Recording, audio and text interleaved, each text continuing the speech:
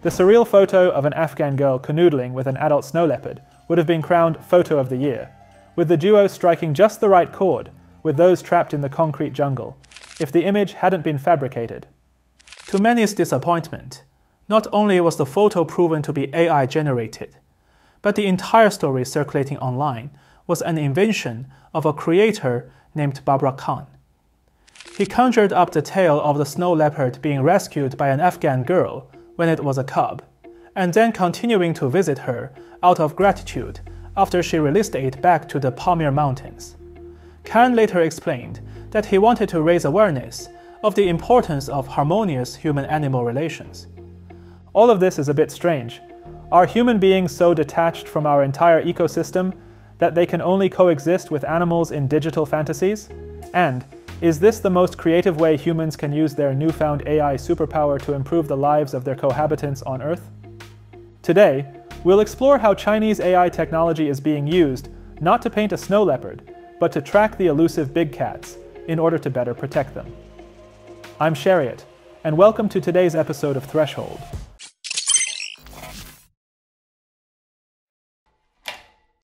Snow leopards are listed as vulnerable on the IUCN Red List, with only up to 6,390 individuals left in the wild, which shares the same threatened status with the iconic giant panda. In China, they are classified as a Class A protected species, with hunting punishable by more than 10 years in prison. The intense protection stems not only from their rarity, but also from their cultural and ecological importance. As early as 2,000 years ago, snow leopards had already made their appearance in the ancient Chinese texts, Classic of Mountains and Seas, and Tibetan mythology. Even today, major Central Asian cities like Bishkek use the snow leopard as their emblem. Ecologically, snow leopards are considered a barometer of high altitude ecosystem health. They inhabit the source regions of China's three major rivers, making their survival essential to maintaining the fragile balance of the Tibetan Plateau. This, in turn, impacts water security for China's 1.4 billion people.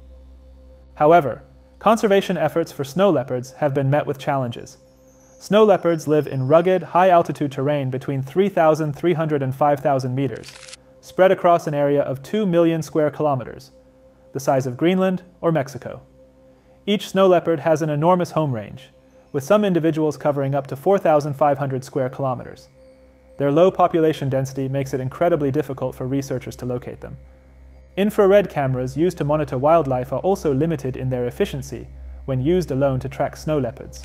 For instance, Ma Duifang, head of the Wildlife Protection Department at the Qilian Mountain Nature Reserve, started receiving reports from local herders about snow leopards in the area as early as 1990. However, it wasn't until 2012 that his infrared camera finally captured one of them.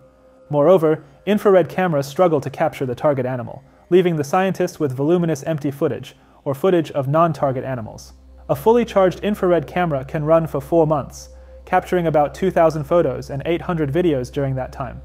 This means that over the past 22 years, it has manually gone through 132,000 photos and 52,800 videos before finally locating that one shot, a time-consuming and costly process that hampers all conservation efforts. Fortunately, in 2021, Chinese tech giant Tencent proposed a solution. An AI model of Tencent's AI lab is now capable of automatically detecting snow leopards from 31 wild animals in camera footage and filtering out empty frames. This breakthrough reduced researchers' workloads by over 50%, allowing them to deploy more cameras without being overwhelmed by data. This wasn't the first time AI had been used in snow leopard research and conservation.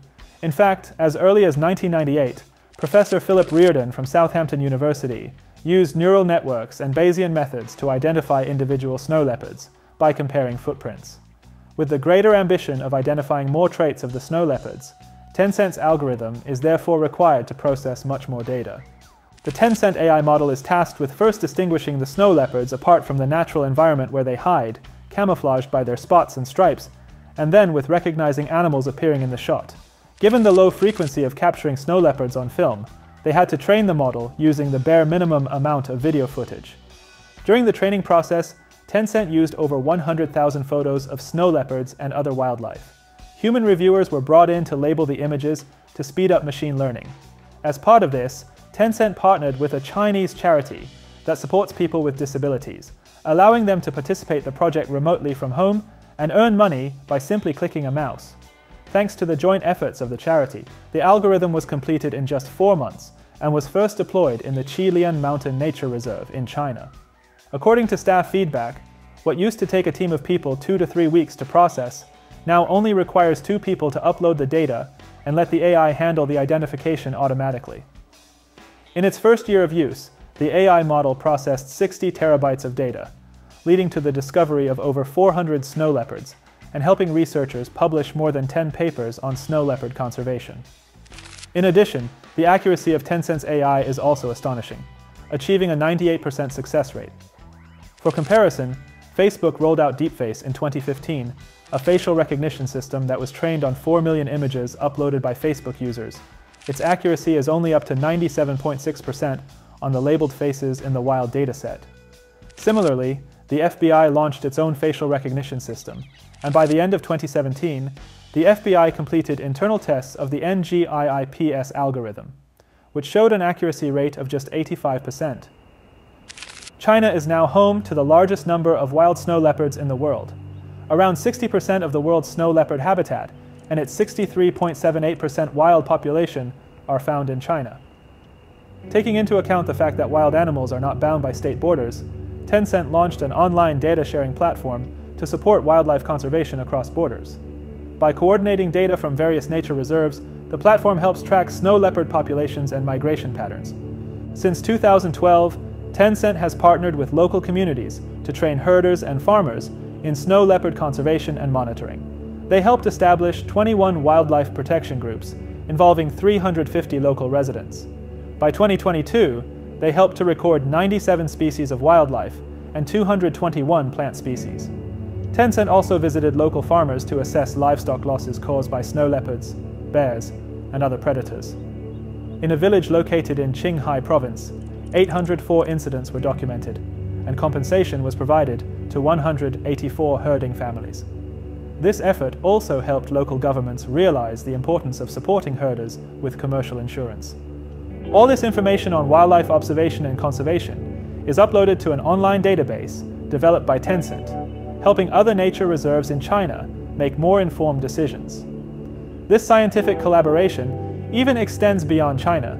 Specifically, conservationists from Nepal, where snow leopards are found along its border with China, have been among the groups that benefited most from this data sharing platform. With the wisdom of hindsight, I couldn't help but view Tencent's success as a product of seamless cooperation between the Chinese government, conservationists, and private enterprises like Tencent. While AI technologies elsewhere are applied to ChatGPT or Midjourney, which generate fictional content in the blink of an eye, Tencent went another route engineers chose to immerse themselves in the real world, however harsh it might be. I find the words of Anton Chekhov particularly fitting for this moment. And, you know, whoever has once in his life caught perch or has seen the migrating of the thrushes in autumn, watched how they float in flocks over the village on bright, cool days, he will never be a real townsman, and he will have a yearning for freedom to the day of his death. For Tencent's engineers, a glimpse of a snow leopard caught by the camera might just be enough to inspire a lifetime of commitment.